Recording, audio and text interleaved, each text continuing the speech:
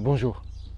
Il y a quelques mois, j'ai enregistré une vidéo sur le fait que je ne demande plus rien.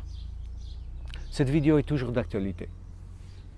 Mais par contre, j'ai remarqué qu'il y avait un phénomène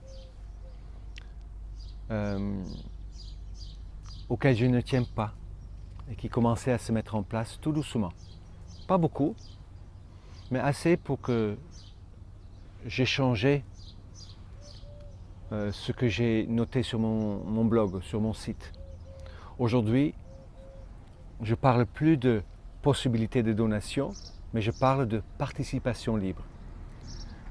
Ce qui s'est passé, c'est que je commençais à être contacté par des personnes qui venaient parce que c'était beau marché, parce que c'était gratuit. Et ça, ce n'était pas du tout le cas. C'est pas parce que je ne demande pas quelque chose pour mes services que ça dispense l'autre de la responsabilité qu'il a lui-même par rapport au service qu'il reçoit. Donc aujourd'hui, j'ai marqué participation libre. Ce que je considère, je considère ce que je fais d'une grande valeur. Sinon, je ne le ferai pas. Peut-être c'est orgueilleux, je suis plutôt fier. Mais je pense que je suis fait pour ce que je fais. Même si je change encore de forme au fur et à mesure que j'avance.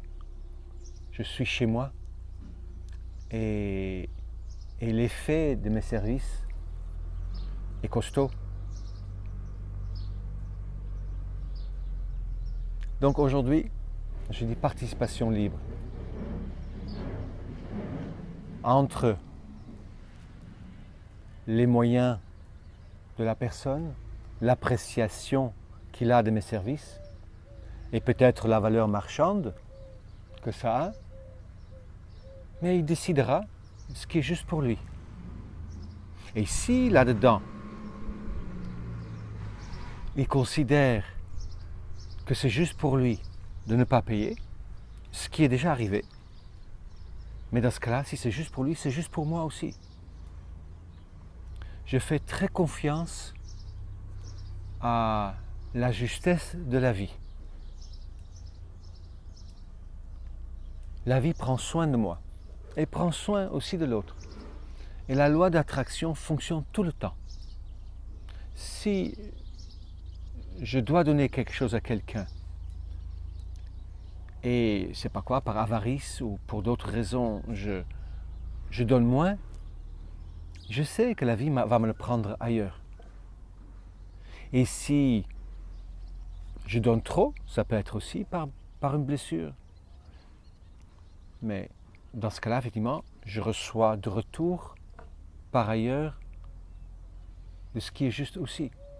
Donc la vie prend en charge de toute façon. Mais il est important pour moi de, ne pas avoir peur de dire, de dire que ce que je fais est important, que c'est important pour moi et que c'est important pour moi que les gens reconnaissent la valeur. Même si il est impossible de me donner en argent ce qui correspond à la valeur, ce qui correspond à la valeur de ma prestation. Ce n'est pas toujours possible. Mais moi-même aussi, j'ai vécu des stages qui, qui, étaient déjà pas nécessairement bon marché, mais qui avaient une valeur, waouh, si j'avais pu, j'aurais donné dix fois plus. Ça vaut combien le bonheur? C'est la question que je demandais parfois quand je commençais à accompagner les gens à l'époque. Mes séances n'étaient pas nécessairement chères. Je demandais quand je commençais, pas commençais, mais quand je démarrais juste après mon expérience d'éveil, je commençais avec 35 euros par séance. C'était largement en dessous de l'habituel. Et les gens me demandaient parfois, mais ça va, ça va me coûter combien? Et je demandais, je répondais souvent en, me demandant, mais ça vaut combien pour toi le bonheur? Oh, le bonheur, ça n'a pas de prix. je dis, mais, mais un prix. 20 000 euros 30 000 euros 40 Ils disent, oui, ça vaut ça, facilement le bonheur. Et on faisait le calcul et je, disais, mais peut-être tu aurais besoin d'une cinquantaine de séances. Mais calcul, 50 fois 35, et ça faisait autour de 1500 euros. Et je dis, et, ça peut le faire en un an ou, ou deux ans en fonction de ton rythme. Et ça avait l'air d'un coup très bon marché. Donc aujourd'hui, je suis revenu un peu sur mes pas. C'est plus possibilité de donation, c'est participation libre.